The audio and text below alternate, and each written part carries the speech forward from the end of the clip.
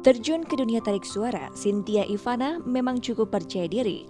Ini terlihat di mana dirinya langsung menggarap dua video klip sekaligus dari single terbarunya.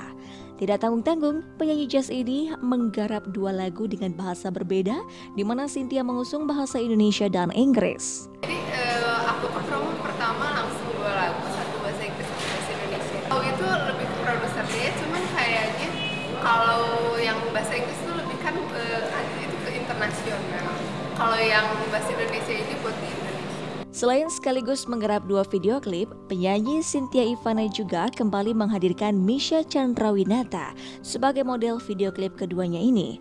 Bagi Misha, hal itu menjadi suatu kebanggaan dirinya, di mana kembaran dari Marcel Chandrawinata itu mengaku cukup mengagumi keberadaan Cynthia Ivana di dunia musik tanah air. Gue sih kagum banget sama dia dan gue udah bilang sama semua teman-teman gue pas waktu mereka ngeliat yang pertama, mereka nanya sih dia itu siapa, dia siapa? Emang karena dia masih baru. Jadi kalau temen gue nanya gue bilang dia ini penyanyi baru tapi dia menggunakan genre jazz. Dan untuk di Indonesia penyanyi jazz itu sangat dikit banget. Jadi pas waktu gue diminta untuk main video klipnya dan begitu gue denger lagunya ya gue bener-bener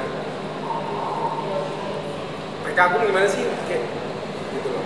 Soalnya ternyata suaranya itu luar biasa amazing banget dan amazing. Amazing, amazing.